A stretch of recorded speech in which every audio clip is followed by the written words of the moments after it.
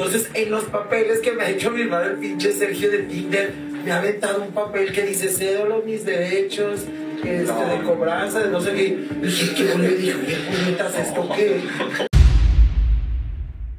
Wendy Guevara revela el intento de engaño por parte de Sergio Mayer al pedirle firmar un documento sin su consentimiento.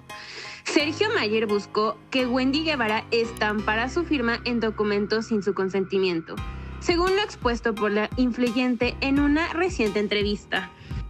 La ganadora de la Casa de los Famosos, Wendy Guevara, confesó que Mayer intentó adueñarse de los derechos de su imagen al tratar de que ella firmara ciertos papeles.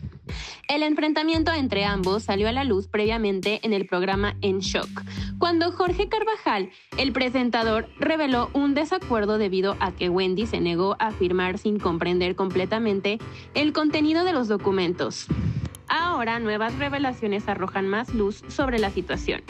En una entrevista realizada hace dos meses por Adrián Marcelo, la influencer compartió detalles sobre su experiencia en la Casa de los Famosos y su historia de vida. Sin embargo, se filtró un fragmento del detrás de cámaras donde Wendy Guevara admite que en Televisa le dijeron que Sergio Mayer la ayudaría al firmar contratos a pesar de haber informado previamente que contaba con un representante. En Televisa me dijeron, vamos a esperar a Sergio para que te ayude. Acepté, pero ya les había mencionado que tenía manager, dijo Wendy. En ese momento, según la influencer, Sergio Mayer introdujo una hoja entre los papeles, sin su consentimiento, donde ella cedería los derechos de su imagen.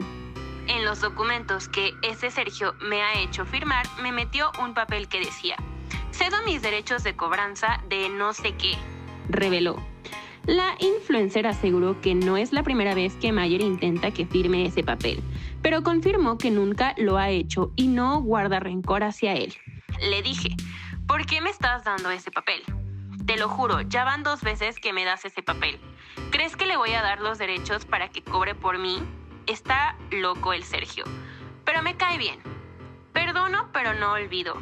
No podemos cometer los mismos errores o dejarnos engañar como antes, declaró. ¿Qué papeles quería que firmara Wendy Guevara? Hace unos meses se hizo público que Wendy Guevara rechazó la firma de documentos presentados por el exintegrante de Garibaldi, argumentando sus compromisos con Walmart y Amazon.